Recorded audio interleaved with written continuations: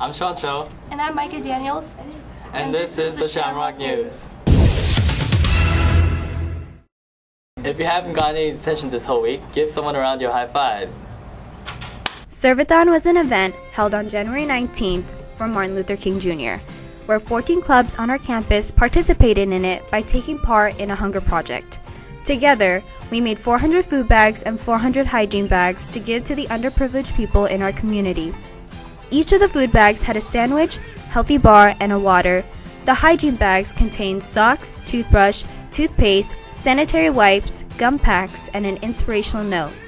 Thank you to all the volunteers, teachers, and our principal as well for making this project successful.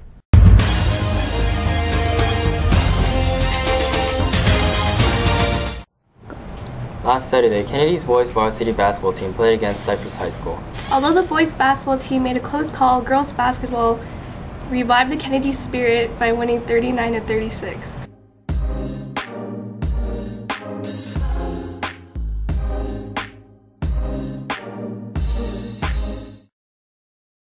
My name is Austin Chris. And I am Mustafa Juma. And we're the captains for the boys varsity soccer team. And next Friday the 6th, we are going to be playing Western High School. So we would love the support of all our Fighting Irish there. Uh, the game's at 3 o'clock, so don't miss out. Here's ASB's Activities Commissioner to give you a word on the game of the week. Hi guys, it's Deborah. And it's Jillery. We just wanted to thank all the students who came and supported girls and boys varsity basketball team last week at our rivalry game, our wrestling team on Wednesday, and our girls water polo yesterday. With that said, our next game of the week is Boys Soccer! It's February 6th at 3 o'clock. It's here at our house. Boys Soccer would really appreciate it if we come and support them in our K-High for Life shirts. Go Irish!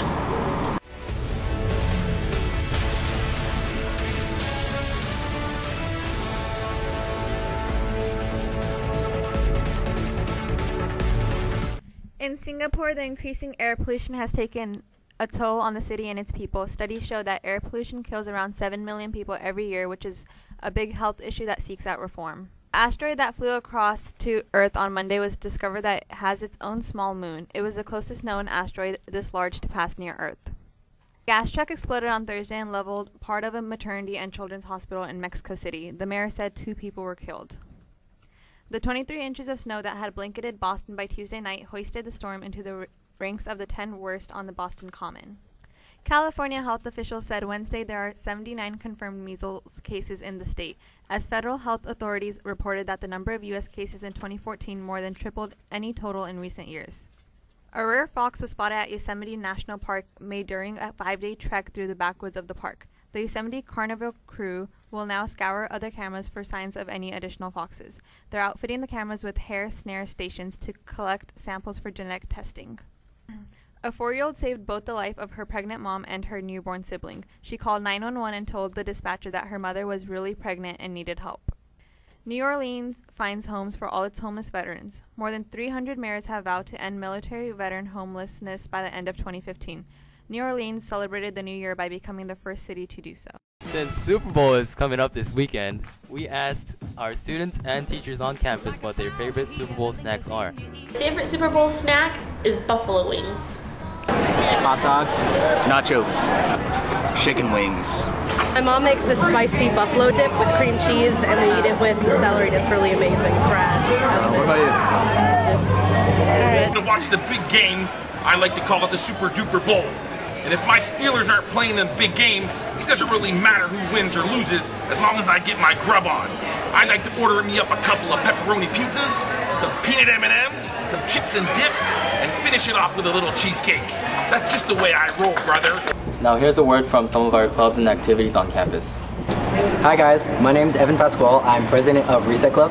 Hi, my name is Bridie and I'm secretary of Reset Club. Reset Club is a club that's dedicated to the performing arts like singing and dancing. Reset Club and Culinary Club are coming together to put on our first performance which is called Polar Espresso. What it is pretty much is it's a coffee house performance with food and drinks and people can come out and enjoy those while also watching some really nice performances. It'll be held on February 6th, that's a Friday, right here in MP1, and it'll be from 6 to 8 p.m. So make sure to come. We have food. Food is amazing. We know you love food. Bring your friends down and have a good time. We'll have entertainment for you too. Be there, guys. Better be there. Bye. Hey guys, RSVP is holding its next summit on February 6th during fourth period. It will be a debrief of what happened during Summit 1, as well as creating a timeline so that we can start taking actions to improve the top three issues brought up in the first summit. Make sure to think of ways to improve our school so that you can contribute to the discussion that will take place on the day. Just a reminder, today is the last day of Club Rush, so be sure to check out all the clubs we have to offer on campus today.